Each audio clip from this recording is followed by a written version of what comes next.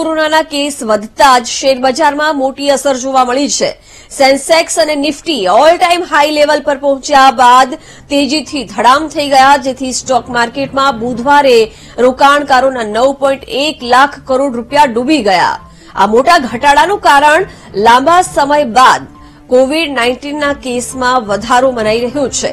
ચોવીસ કલાકમાં છસો નવા કોરોનાના કેસ, લોકો જ નહીં પણ શેરબજારને પણ ડરાવી દીધું છે. ત્યારે વિદેશી રોકાણકારોએ ભારતીય શેરબજારથી મોટી રકમ ઉપાડી લીધી હતી, જેની અસર શેરબજાર પર જોવા મળતા કરોડોનું નુકસાન થયું. સેન્સેક્સના ત્રીસમાંથી ત્રીસ શેરમાં ઘટાડો થયો, જ્યારે ઓટો, મેટલ, બેંક નિફ્ટી અને સર્વિસ સહિત લગભગ તમામ સેક્ટરમાં વેચાણ જોવા મળ્યું. આ મોટા ઘટાડાના કારણે બીએસસી એમ કેપના લગભગ નવ લાખ કરોડ રૂપિયા ડૂબી ગયા. સેન્સેક્સના ત્રણ હજાર નવસો એકવીસ શેરમાંથી ત્રણ હજાર એકસો ઇઠ્યોતેર શેરમાં ઘટાડો અને છસો સત્તાવન શેરમાં તેજી રહી, જ્યારે છ્યાસી સ્ટોક અપરિવર્તિત રહ્યા.